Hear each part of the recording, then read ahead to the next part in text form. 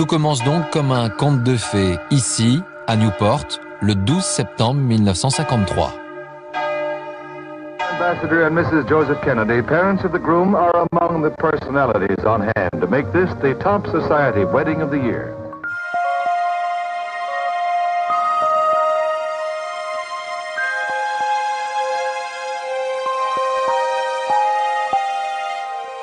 Jackie était resplendissante et, était là où elle aimait être, c'est-à-dire en haut de l'affiche.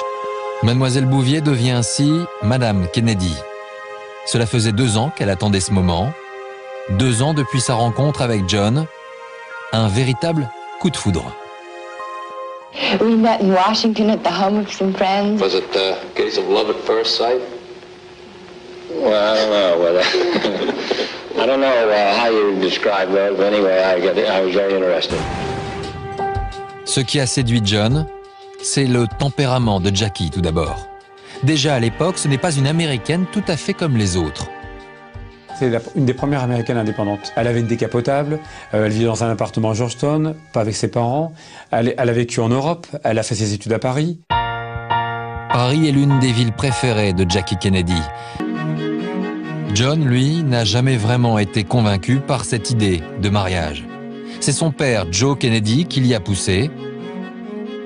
Il savait que son fils devait avoir une épouse pour conquérir la Maison Blanche. Mais c'est sur un autre terrain que Jackie va gagner ses galons d'épouse parfaite. John a la santé fragile et Jackie va vite lui devenir indispensable. Elle apprend après le, mariage avec son mari qu'il est enfin atteint d'une maladie qui est très grave. Hein. C'est une dégénérescence du système nerveux. Tous les jours de sa vie, John F. Kennedy a souffert de son dos et d'autres euh, effets seconds, et surtout les effets seconds des médicaments qu'il prenait. Et un an à peine après leur mariage, John Fitzgerald Kennedy doit se rendre à New York pour subir une grave opération du dos. Il y a eu trois opérations de sa colonne vertébrale. Elle est à ses côtés. Elle est à ses côtés également pendant l'extrême onction. Trois fois, elle, elle pourrait perdre son mari. Forcément, ça la rapproche de lui. Ça crée un lien très fort que rien ne brise. Et après cet épisode survenu en pleine campagne électorale, John se sent plus fort lorsque sa femme l'accompagne. Dès lors, il ne pourra plus se passer d'elle.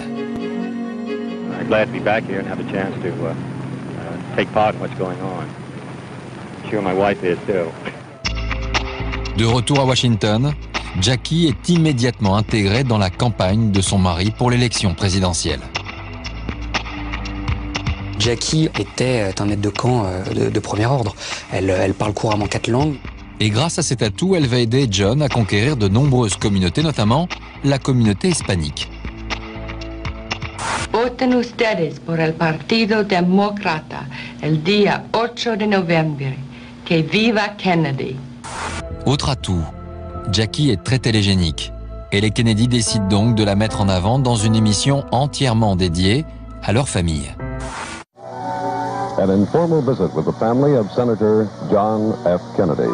Won't you tell us, Jacqueline, a little about your experiences?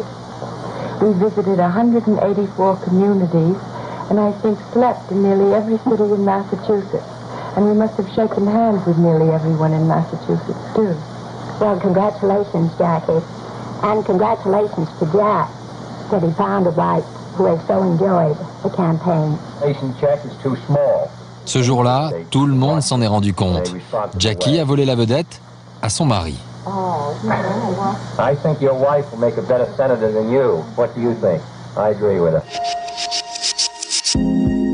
Ce n'est donc plus un homme, mais un couple qui fait campagne. Désormais, la foule se déplace pour John, mais aussi et surtout pour Jackie. Une victoire à laquelle il associe immédiatement son épouse. So now uh, my wife and I prepare for a new administration and uh, for a new baby. Thank you. À 43 ans, JFK est le plus jeune président jamais élu aux États-Unis. Jackie en a 31. À eux deux, ils forment le couple moderne et dynamique que l'Amérique attendait. Car dans ces nouveaux appartements rénovés, Jackie a bien l'intention de recevoir du monde. Et pas n'importe qui. Elle organise de grands banquets avec les plus grands artistes américains. On peut pratiquement dire que Jackie a inventé le rôle de ministre de la Culture aux États-Unis. Euh, quand elle est arrivée à la Maison Blanche avec son mari, ce, poste n'existait pas. Euh, elle était très férue d'opéra notamment, euh, de danse, et elle s'est dit qu'il y avait évidemment une, une obligation pour la Maison Blanche euh, que de faire resplendir arts au sein de la Maison Blanche et, et aux États-Unis de manière générale. Quelques semaines plus tard, le couple fête ses dix ans de mariage devant les caméras, comme si tout allait pour le mieux. Rien ne doit venir troubler l'image idyllique que Jackie s'est donné tant de mal à bâtir. Personne ne se doute alors qu'un autre drame plus terrible encore les attend quelques mois plus tard.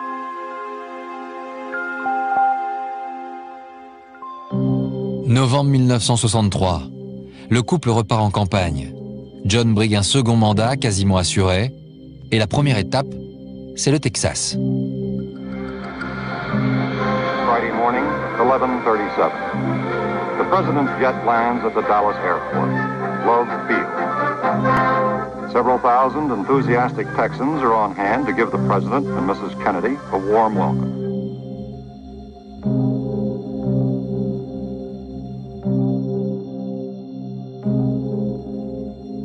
Friday, 10 minutes before noon. The motorcade begins the 11 mile ride to the Dallas Trade Mart. And even the freeway was jam packed with spectators waiting their chance to see the president as he made his way toward the Trade Mart. It, it, it appears as though something has happened in the motorcade route. Something, I repeat, has happened in the motorcade route. There's numerous people running up the hill.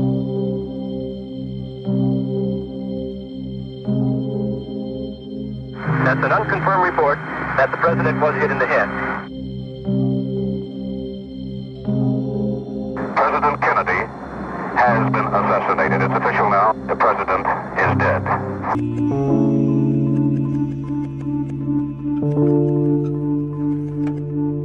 Mais passé le drame et les cérémonies, Jackie va très vite prendre conscience de l'impact de l'événement. Et sa première réaction va être de défendre à tout prix la mémoire de son mari. Préserver son image, celle d'un mari modèle, faire oublier les zones d'ombre et même, vous allez le voir, les gommer, tout simplement. John a eu de nombreuses liaisons à la Maison Blanche. Récemment, on a même appris qu'il avait eu sa propre Monica Lewinsky. Le même genre d'histoire que le président Clinton avec une jeune stagiaire. Ils ont fait l'amour à la Maison Blanche alors que Jackie n'était pas là.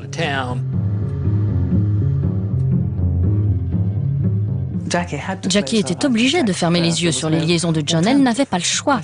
Je pense que tant qu'il ne l'humiliait pas, elle était capable de le supporter. Pour l'instant, aucune de ces femmes n'avait inquiété Jackie. Mais avec Marilyn, c'est différent. Car la star va tout faire pour dévoiler sa liaison avec le président des États-Unis. La plus célèbre femme au monde minaudait et susurrait comme ça devant son mari, visiblement folle amoureuse de lui, le tout apparaissant bien sûr dans les médias du monde entier. Évidemment, c'était très humiliant. L'image du couple Kennedy vient d'être mise à mal. Et la pression médiatique est tellement forte que Jackie, pour la première fois de sa vie, décide de prendre la fuite. Il fallait qu'elle s'échappe avec toute cette pression sur sa vie privée. Elle avait besoin de s'échapper. Le 4 octobre 1963, elle s'envole pour l'Europe. Et c'est au cours de ce voyage qu'elle va rencontrer Aristote Onassis, l'autre homme qui va bouleverser sa vie.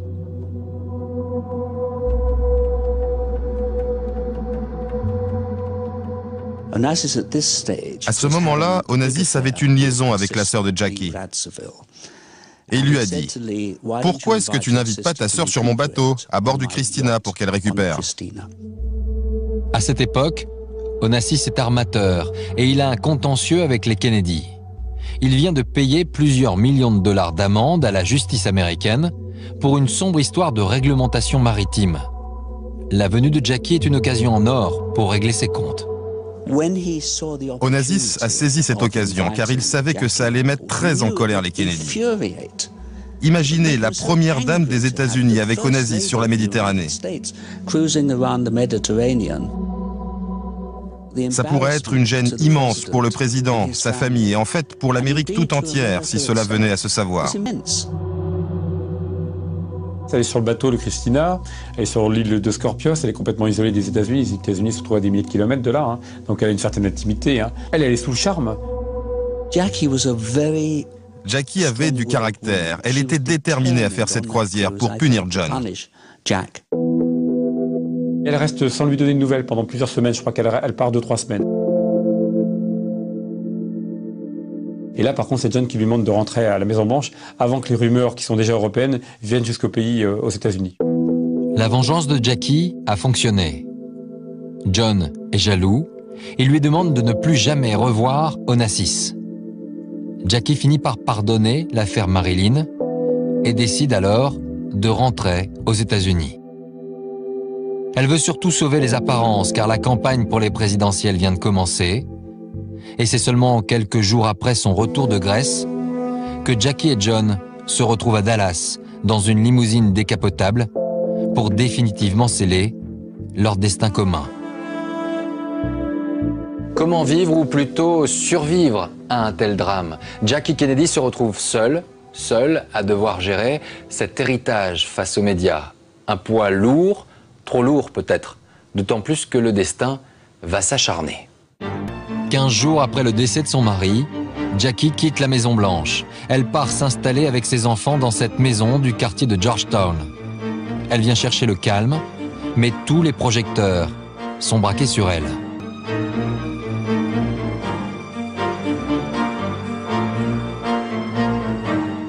Dans son malheur, Jackie peut toujours compter sur le soutien du clan Kennedy, et en particulier sur Bob, le frère cadet de John. Bien évidemment, dès la mort de John F. Kennedy, euh, le frère Bobby euh, l'a beaucoup aidé, très proche d'elle, très intime. Et je pense qu'il a été un tel soutien moral que ça a permis aussi à Jackie Kennedy de ne pas craquer. Il vient de remporter les primaires de Californie. Quelques secondes après son discours, Bobby Kennedy quitte la scène. C'est alors qu'un militant palestinien caché dans la foule sort un revolver il lui tire une balle en pleine tête.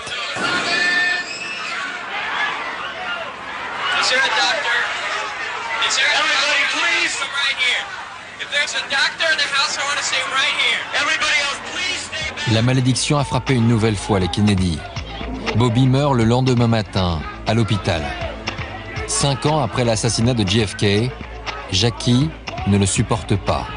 Elle avait beaucoup espéré que Robert devienne président. Et euh, quand elle, euh, euh, quand Robert est mort, ça a été vraiment un deuxième choc horrible pour elle. Elle était simplement accablée de douleur. Elle s'arrachait presque les cheveux. Elle ne pouvait pas croire qu'un deuxième frère Kennedy ait été assassiné.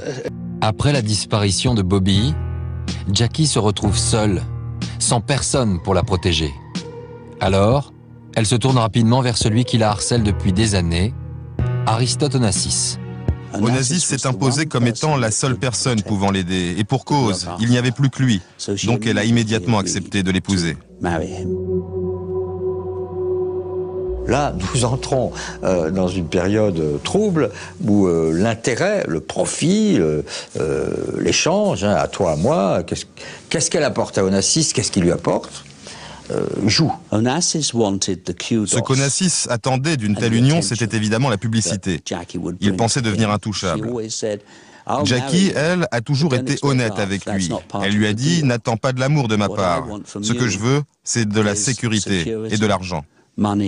C'est pas forcément mesquin, ni laid, ni euh, répréhensible, mais enfin, ça s'appelle pas une histoire d'amour. Hein. Il faut être clair. Quatre mois après le décès de Bob Kennedy, Jackie devient Madame Onassis. Un mariage en Grèce qui ne fait pas l'unanimité. Mais malheureusement, cette période de calme pour Jackie ne va pas durer. Et le monde entier s'en rend compte le 21 mai 1970, lorsqu'Aristote Onassis est photographié, ici, à Paris, en compagnie de la cantatrice Maria Callas. Pour l'anniversaire de la Callas, ils se rendent ensemble chez Maxims, de la manière la plus publique qui soit. Imaginez un anniversaire avec Onassis, La Calas et tous leurs amis chez Maxims. C'était une façon de déclarer publiquement qu'ils étaient de nouveau ensemble. Toute la presse mondiale était là, évidemment. Quand elle découvre les photos dans la presse, la réaction de Jackie est immédiate. Elle a pris le premier avion. Elle est arrivée à Paris dans les 12 heures qui ont suivi et elle a insisté, insisté auprès d'Onassis pour refaire la même soirée et les mêmes photos avec elle à la place de la Calas. C'était drôle, bizarre et hilarant et c'est sa fureur qui lui a fait faire ça. Ne se sentant plus désirée, elle quitte son paradis méditerranéen. Elle repart avec ses enfants habiter New York. L'ex-première dame préférée des Américains est de retour au pays. En 1976, un an après son retour à New York, lorsqu'elle rencontre son nouveau compagnon, Maurice Templesman, personne ne s'intéresse à cette liaison. C'est un, diamantaire qui, gère des grosses fortunes pour des, pour des hommes d'État, pour des milliardaires euh, euh, de par le monde, euh, qui conseillait Jackie sur la gestion de sa fortune personnelle. Mais effectivement, un homme très discret, mais surtout un homme très doux et très, très compréhensif. Et en cela, il lui a apporté, je pense, plus que n'importe quel autre homme dans sa vie. C'est finalement avec lui qu'elle aura sa plus longue liaison. Elle passera 16 années à ses côtés, jusqu'à ses derniers jours.